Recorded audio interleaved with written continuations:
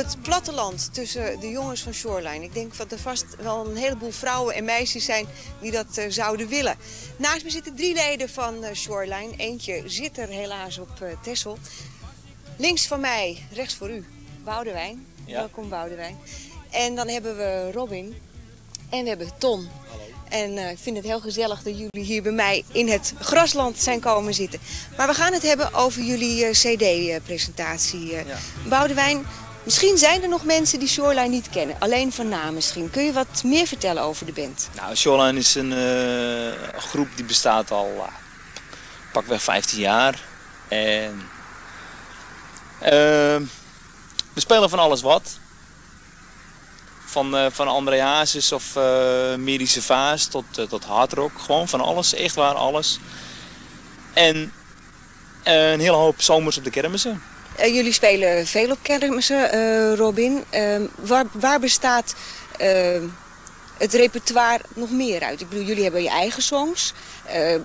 Boudewijn zegt net al, wat hardrock. hebben jullie toch voor de kermis een ander repertoire dan dat jullie op bruiloft en partijen spelen? Ja, zeker weten. We passen ons toch wel een beetje aan aan de sfeer die er hangt natuurlijk. Dat, ja, het varieert echt van, van tante Leen tot motorhead. Maar ja, gepast. Ja, ja, ja.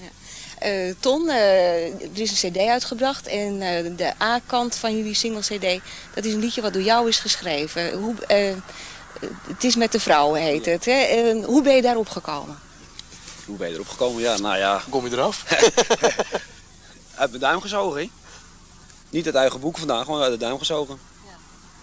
ja, maar je moet toch wel enige ervaring hebben, neem ik aan. Want je kunt niet zomaar iets uit je duim zuigen. Nou, dat weet ik niet. Ik, ik heb nog genoeg thuis liggen van teksten, dus uh, waar we nog wel raad mee weten. Eh, dat schuif ik allemaal aan mijn duim vandaan. Uh, Robin, uh, hoeveelste uh, single cd is dit? single cd de eerste, maar singles op zich, nou, Bo, tiende, vijftiende.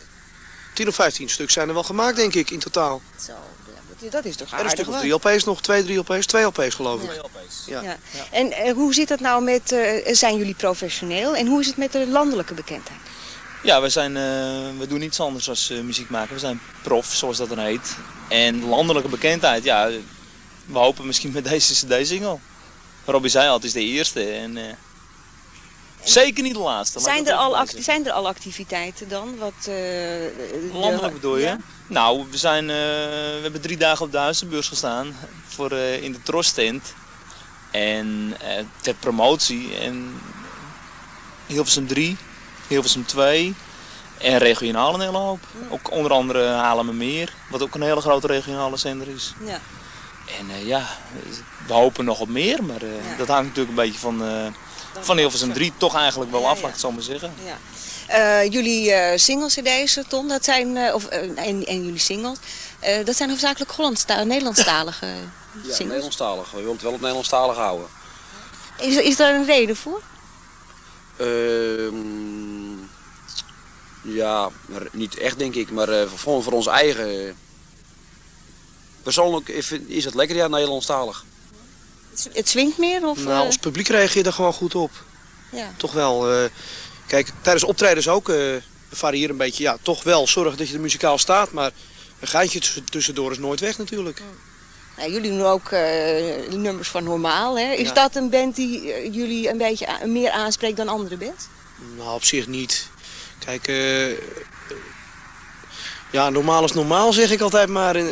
Die jongens doen het echt. mee je dak uit. Jawel, hartstikke leuk. Ja.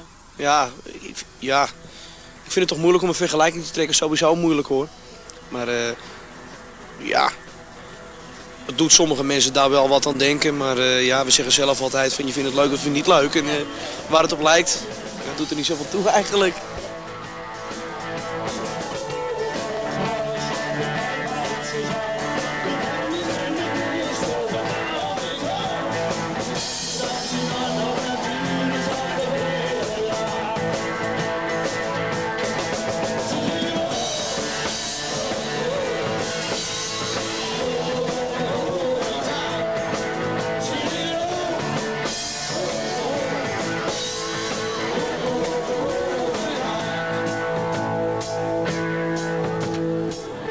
Wij proberen toch door onze spontaniteit ja. wat extra's eraan toe te voegen. Ja. ja. ja. Boudewijn, wat mij opviel is dat jij ontzettend veel instrumenten beheerst. Ja, van alles een klein beetje. Daarom ben ik ook bruikbaar in zo'n groep. Je speelt, je speelt zoveel, zoveel soorten muziek, dat zei ik net al. En uh, iedere soort muziek heeft natuurlijk toch wel zijn specifieke instrumenten. Nou, ja, ik ben uh, de sigaar, laat ik het zo maar zeggen. Hij rookt zo. Ja, ik rook zo. uh, en ja, ik vind het te gek om een hele hoop instrumenten te spelen. Dat vind, Ik vind het leuk ook. Weet en je heb je dat nou ontwikkeld tijdens de shoreline periode of beheerste je dat al?